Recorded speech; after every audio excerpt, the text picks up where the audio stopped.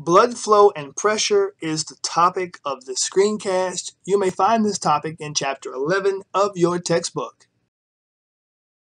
The screencast was designed to help you achieve the following objectives. Define systolic, diastolic, and pulse pressure. Describe pulse. Describe the pressure of blood as it passes through the systemic circulation.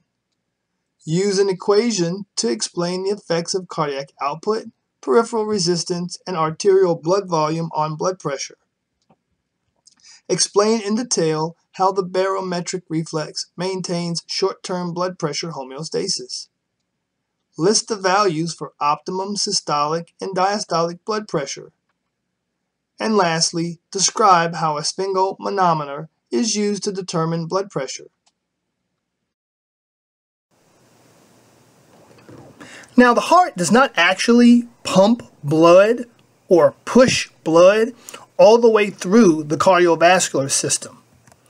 If it did, the thin-walled capillaries would literally blow out. Because remember, the walls of the capillaries are one cell layer thick, and they wouldn't be able to withstand that type of pressure. Also, blood flow would stop every time the ventricles relaxed. And of course, we know that blood moves continuously. Instead of pumping blood completely through the cardiovascular system, the heart maintains a blood pressure gradient from high to low, which allows blood to move from high pressure to low pressure. Blood moves from the ventricle to artery, artery to capillaries, capillaries to veins, and then veins back to the heart, the atria specifically, always moving down its pressure gradient. So as the ventricles contract, they force blood into the arteries. The arteries stretch out and act as a bellows, while the ventricles relax and begin filling for the next contraction, the arteries recoil. Systolic pressure is the peak pressure developed in the aorta and large arteries coming off the left ventricle during ventricular systole, that is, when the ventricles are contracting. The lowest pressure produced in the aorta and the large arteries is during ventricular diastole or when the ventricles are relaxing, and that is referred to as diastolic pressure taking the average of systolic and diastolic pressure gives you the mean arterial pressure, or MAP.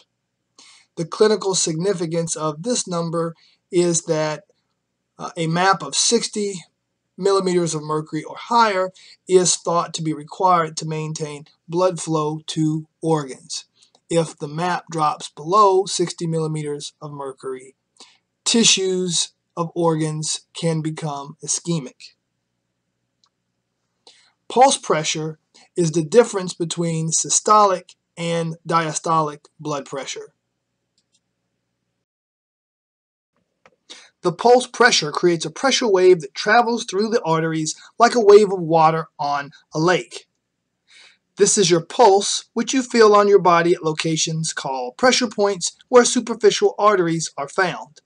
Since pulse pressure is produced with each ventricular systole, we use the pulse to measure heart rate. The more commonly used pressure points include the radial artery of the wrist and the carotid artery of the neck. This figure illustrates pressure in the systemic circulation. Locations within the systemic circulation are shown on the x-axis, starting with the left ventricle and ending with the right ventricle. Pressure in millimeters of mercury is shown on the y-axis. Notice that in the left ventricle, pressure drops almost to zero during ventricular diastole, but pressure drops far less in the arteries that receive blood from the left ventricle. This is due to semilunar valves, which help maintain pressure. Systolic pressure is illustrated by the orange dotted line, and the green dotted line illustrates diastolic pressure. Notice that pulse pressure is not detectable beyond the arterioles. Most importantly, notice that there is a general decline in blood pressure as blood passes through the systemic circulations, especially in the arterioles. Do you have any idea as to why this is the case?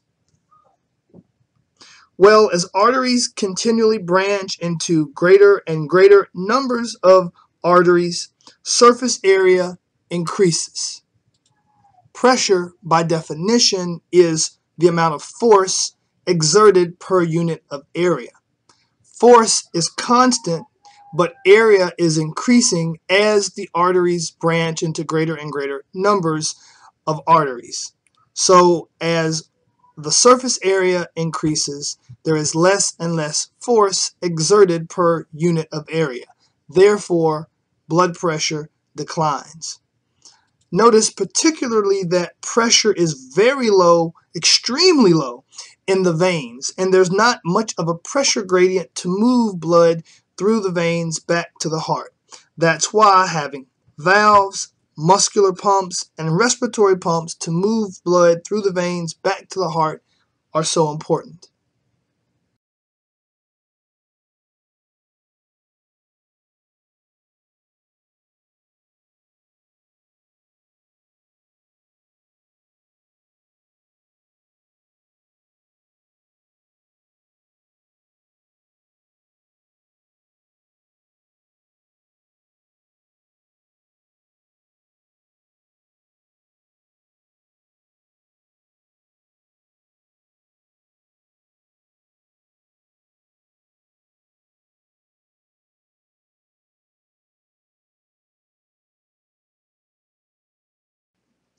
Blood pressure must be tightly regulated at all times. If blood pressure is too low, there is not sufficient pressure gradient to supply tissues with adequate blood flow, resulting in tissue death. If, on the other hand, pressure is too high, blood vessels can be damaged. Two main factors are the major determinants of blood pressure. Compliance is the ability of arteries to stretch as arterial blood volume increases. This allows arteries to receive greater amounts of blood with minimum impact on blood pressure.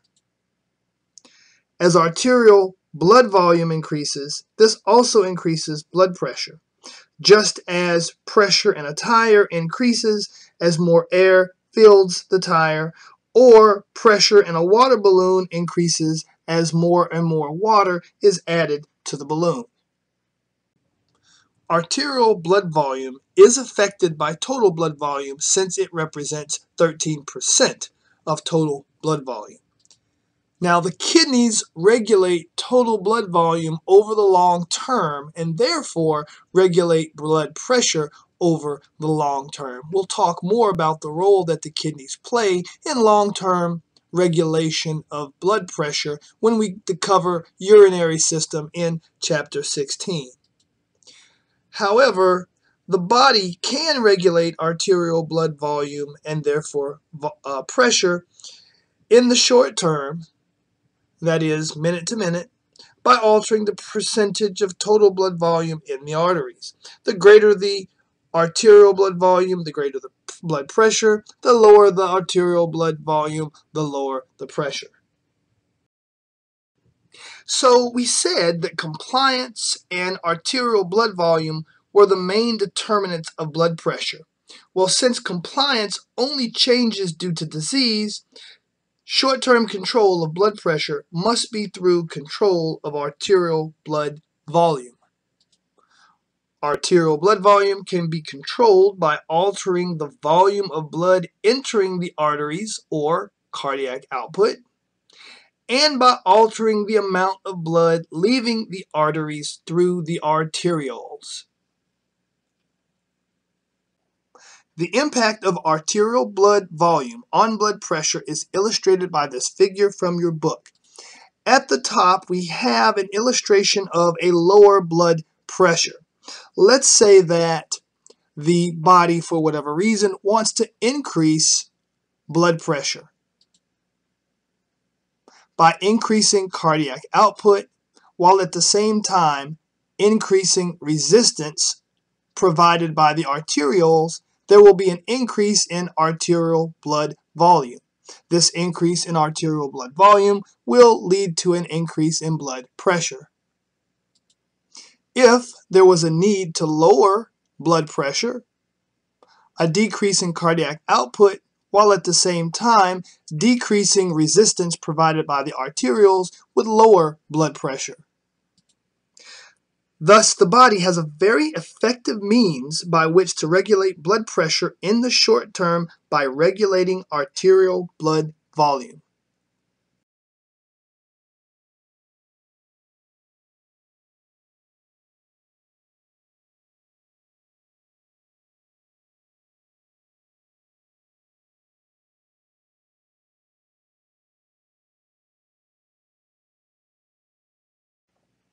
The effects of arterial volume on blood pressure result in the following equation.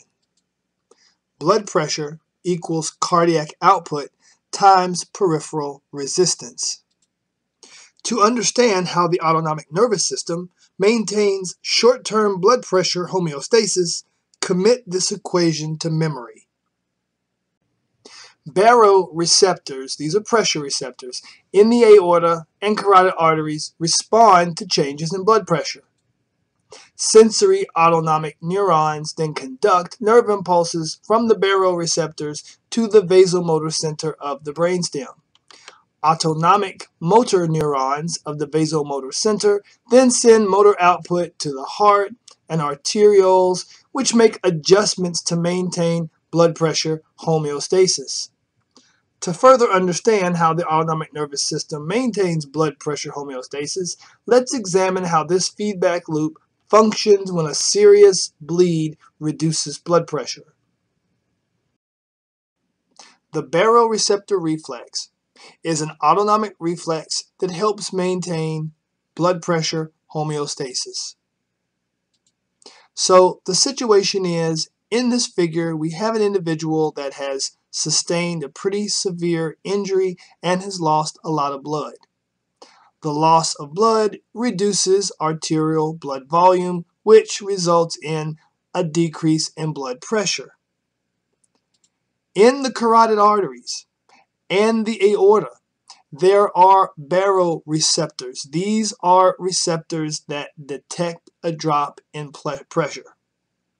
As pressure drops, there is less stretching of the walls of the carotid artery and aorta, and in response, these baroreceptors send fewer action potentials to the vasomotor center located in the brainstem. With fewer action potentials being received, the vasomotor center increases sympathetic motor nerve activity and decreases parasympathetic motor nerve activity. This impacts both the heart as well as the arterioles. Sympathetic activation increases heart rate by accelerating the depolarization of the SA node. There is also an increase in stroke volume by increasing the contraction strength of the ventricular cells. The net result is an increase in cardiac output. The arterioles also respond by contracting their smooth muscles, constricting their lumen, and therefore increasing peripheral resistance. With an increase in cardiac output and an increase in peripheral resistance, there is an increase in blood pressure, hopefully restoring blood pressure to the normal range. I want to be clear that not all arterioles constrict in response to sympathetic stimulation. Only arterioles that feed non-vital tissues such as the skin and muscle. Arterioles to such vital organs as the brain and heart never constrict. So the net result is a shift in blood flow from organs like the skin and muscles to organs like the heart and brain when blood pressure falls.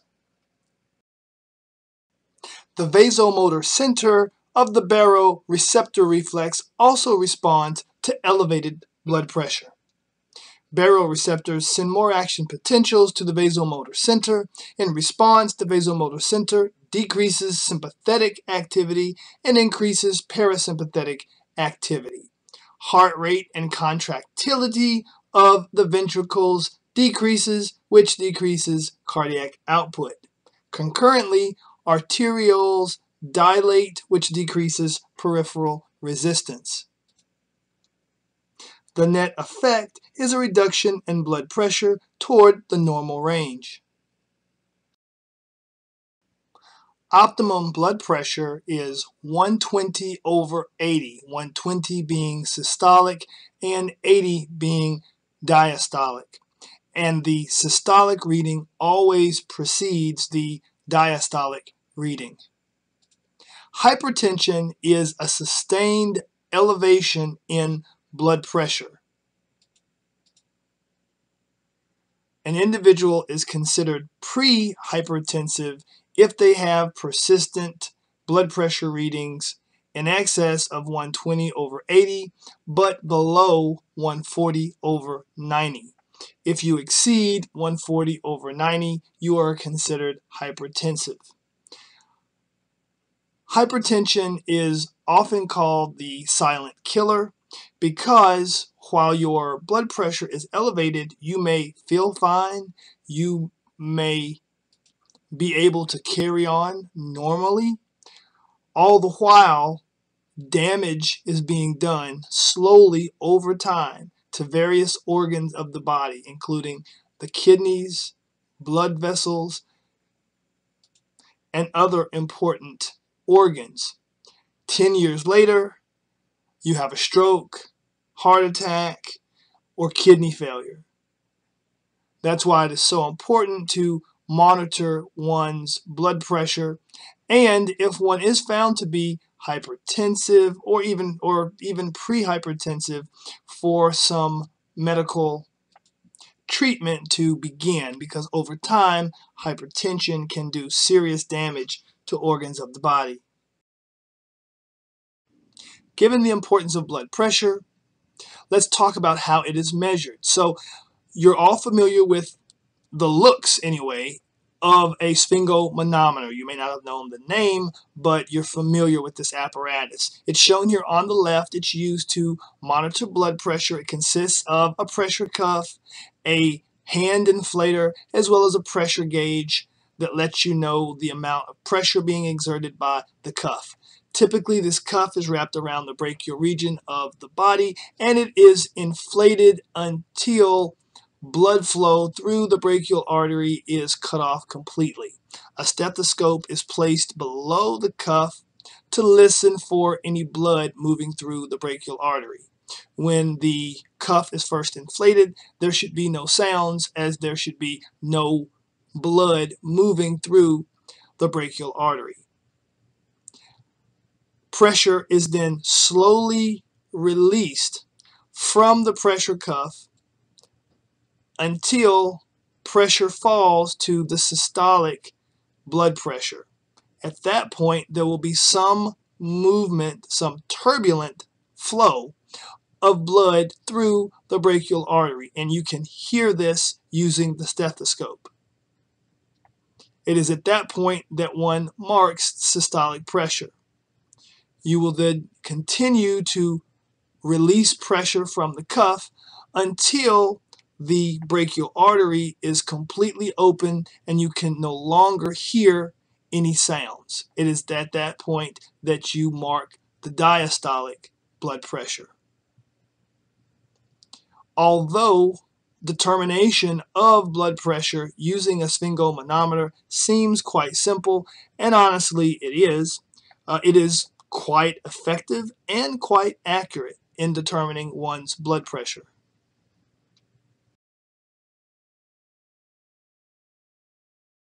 Now let's review the objectives of the screencast. Define systolic, diastolic, and pulse pressure. Describe pulse. Describe the pressure of blood as it passes through the systemic circulation. Use an equation to explain the effects of cardiac output, peripheral resistance, and arterial blood volume on blood pressure. Explain in detail how the barometric reflex maintains short-term blood pressure homeostasis. List the values for optimum systolic and diastolic blood pressure. And lastly, describe how a sphygmomanometer is used to determine blood pressure. Blood flow and blood pressure is the topic of the next screencast.